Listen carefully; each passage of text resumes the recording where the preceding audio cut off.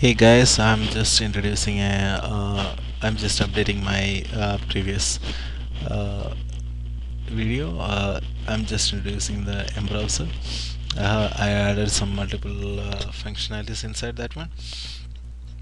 Right now it will it, it can able to support multiple folder structures like how many sub so how many subfolders you want you can just have so many it's it's up to you like say for example in I have my uh, trees like branches and left branch leaves or like that. You have lot of uh, options for the multiple folders and you have a lot of options for uh, uh, storing your own uh, thumbnail images. It's un unlimited and you can download from of course from Highend3D if you go to Highend3D and search for M browser and you'll go to the download session and you can download it whatever uh, it's you can download it from Highend3D and once you download it you just make sure you just uh, came to M uh, uh, your document uh, your documents directory in uh, Windows and Linux also is the same. Like my Maya folder and your Maya version and in script directory. And you just go to M browser and you can just put all this uh, stuff inside the script for uh, M browser. And once it's done you can just go to Maya and uh, you just uh, go to your script editor. Oh of course and you just run this. Oh, I have the folder right now here. I'll just remove it.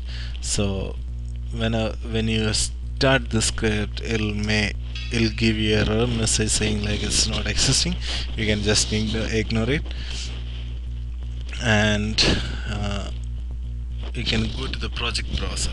So the the, ba the basic stuff is I'll explain this all each icon uh, uh, specifically.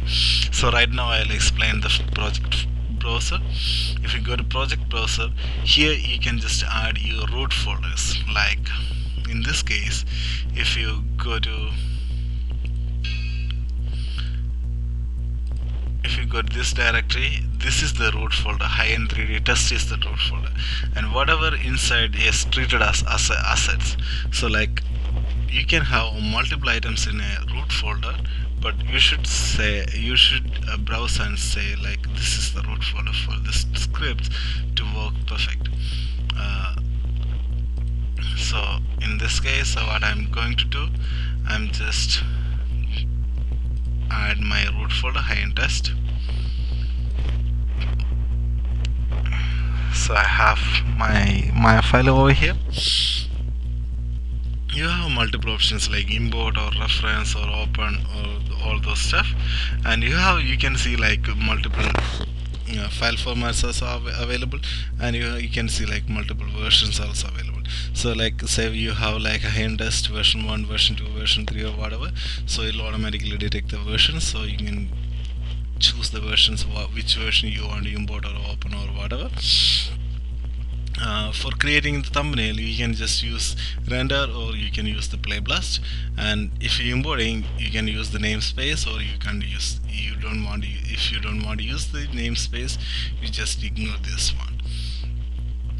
And right now I'm going to open the Maya file. So I'll just choose the uh, MA option here and the version 1 and I'll just go for open.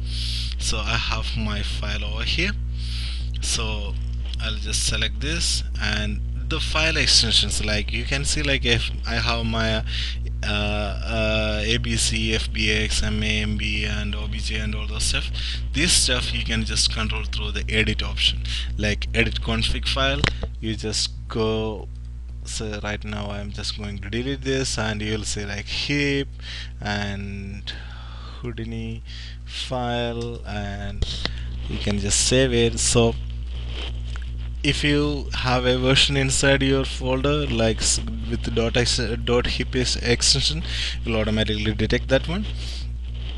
So you can control your extensions how you want. So you have like a lot of options uh, uh, flexibility over that one. So right now I just opened my uh, my thumbnail I mean my my file I'll and I'm going what I'm going to do I'm just uh, going to create a thumbnail image. So if you want to create a thumbnail image you can just click on the thumbnail. So right now I'll, it'll automatically create a thumbnail image. So okay. So later I just updated my material attributes. So I'll just create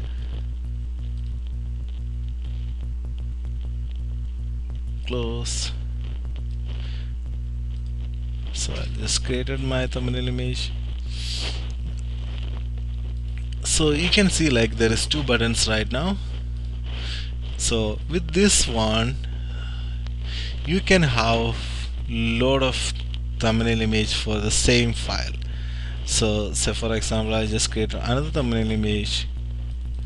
Okay and I I'm going to use the play blast instead of thumbnail. So you can see like for each files you can have multiple thumbnail images. That's not a issue anymore.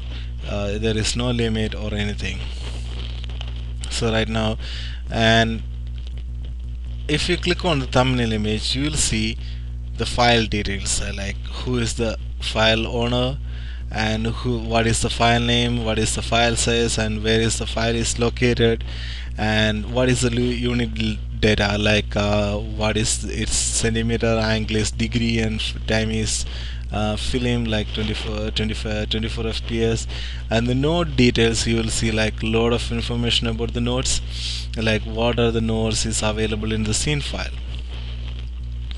Uh, like you can see like time or there is a sphere one so a node and node types you can available here and it'll tell you what are the plugins and all those stuff is in you need and what is the file inform uh, file types you need all the information you will get it.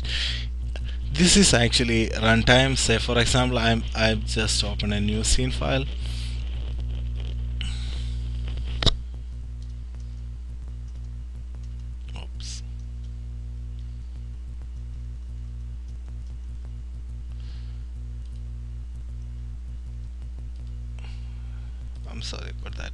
so say for example I'll just uh, don't save.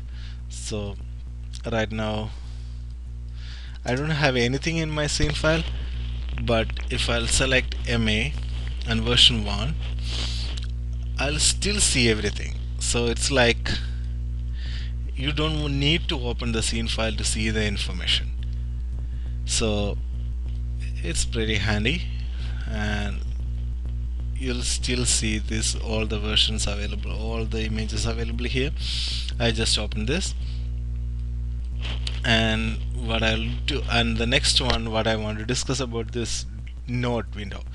Say for example you want to send this file to a new artist and he want he don't know about anything about this file so uh, you want to say something specific about this file you can just say like okay this is a test file and save the add note and of course you, uh, and you make your uh, your all changes. Say for example I'll just make like middle attributes. I'll just make red color and all the stuff. And of and I'll just save this file and I'll just go for new scene file. Oh sh okay. Uh, now your next artist when he opened the scene file. He'll go for MA and when he click he will see like this is a test file. So before opening the scene file itself he can just understand what is inside the scene file and so of course the notes he can he can see it and he can see all the uh, all the stuff inside I mean all the screens uh, screen capture and everything he can see it. So here you have like three options of course. Like you can either import it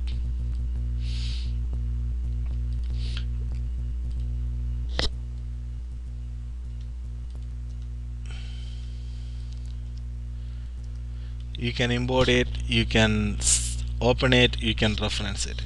Say for example if you want to uh, you you want uh, you want to just go for uh, reference.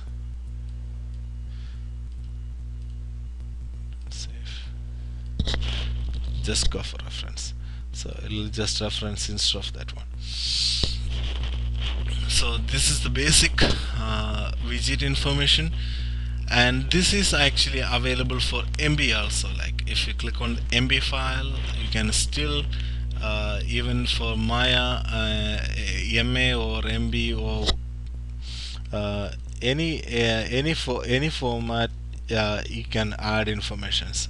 Say for example like uh, now my my scene file is in MB I don't have any thumbnail image so I can just open it. So I have still the information about the scene file. Here you can see like all the information. I have the binary info what are the all, all the stuff and everything. Uh, and I can create a thumbnail image for that MB file that's fine and I'll maybe I'll go for wireframe and just select this and instead of bus so yeah. I have this one and so it's it's it's all up to you how the you how the way you want to control it. It's all up to you. And that's the way the basic widget how it works. Uh, and the next one is actually I can show you like the outline uh, outliner stuff. Like you have a new con control uh, whenever you open a uh, M browser you have option for the docliner. If you click on the docliner you will have like a uh, outliner with a channel box. So it's very easy for you to do the manipulations and everything within Maya which is actually you can see the outliner and you can see the uh, the channel box also in the same time. And the, another one more stuff. Say for example I'll just switch to my uh, which is actually having some text applied. Uh, the dome light. So the dome light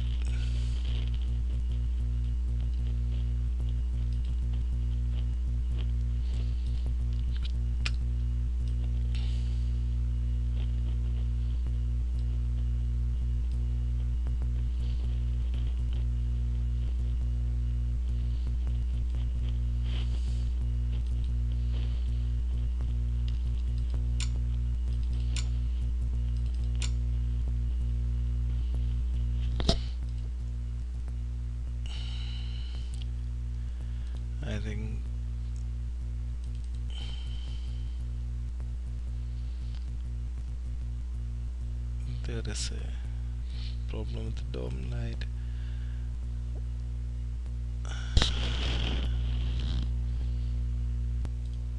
uh, you can just go to um, window and you can just create a uh, env dome so you can just use the light dome so what it will do it will basically create a new dome kind of light for like like a turntable or something.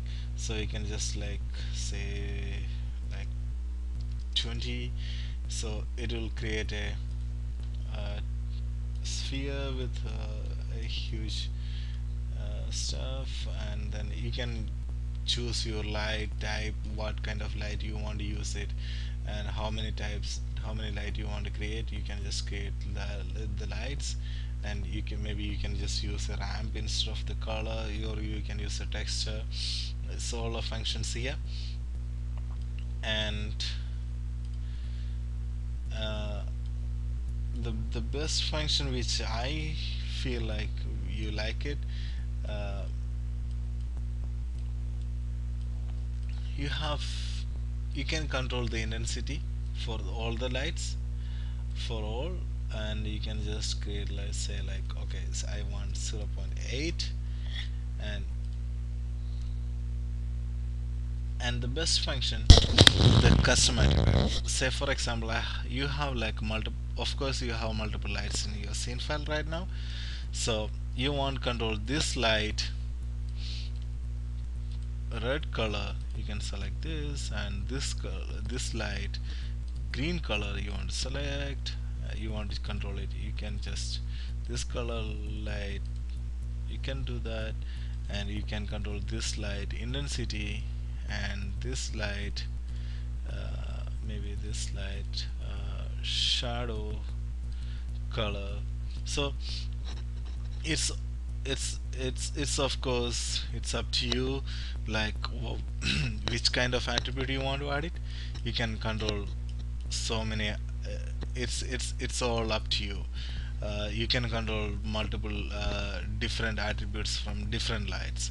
So once you've done everything you can just and you of course you have like a lot of options here for all lights you can control the color all the lights you can control the shadow or each light you can do it. It's all there is a lot of options here. And uh, once if you've done that you can just uh, come to our browser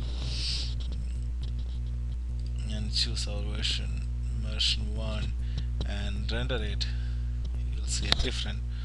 Of course different kind of uh, stuff.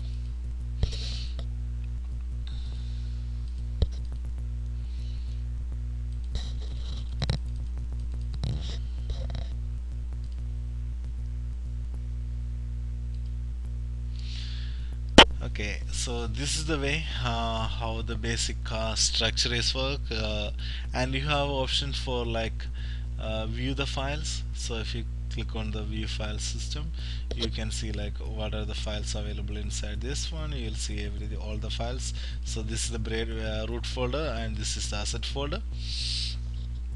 And it's available for uh, all the file details and everything is available here.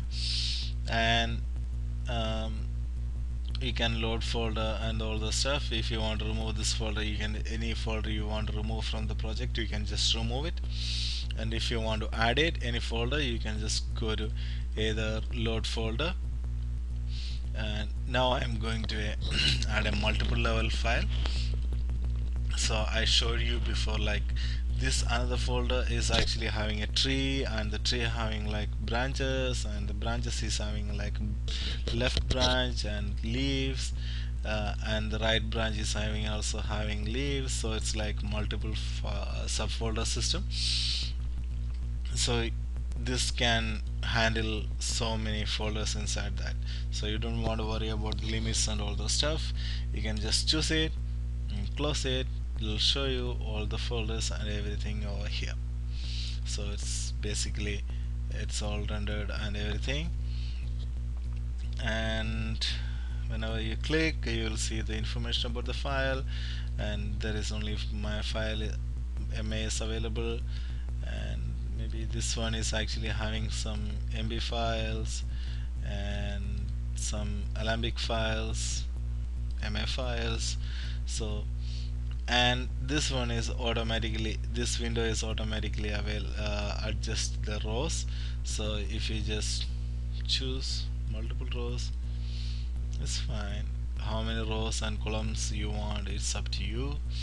Uh, you don't want to set uh, there is no limit for any rows and columns and all those stuff. And yeah if you want to just remove everything you can just trash it and if you reload it you'll, you'll see everything. You can filter it which folder you want to see. You can just go for another test it will show only another test folder. If you go for high-end test it will show only high-end test. If you reload it it will show both folders. Uh, here also you can add the folder and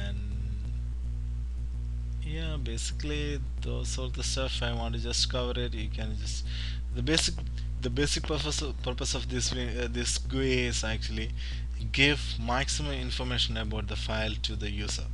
Like the user don't want really open the Maya and see the file open the Maya scene file and see what are the nodes inside the file or if any uh, any node passed by the previous artist or anything kind of like that.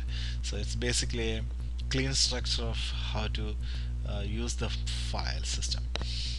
So thanks guys for watching and uh, hope you enjoyed and if you have any comments or questions or anything just post in Hyderabad. I'll try to my maximum to uh, uh, reply it. Um, that's it. Thanks. Bye bye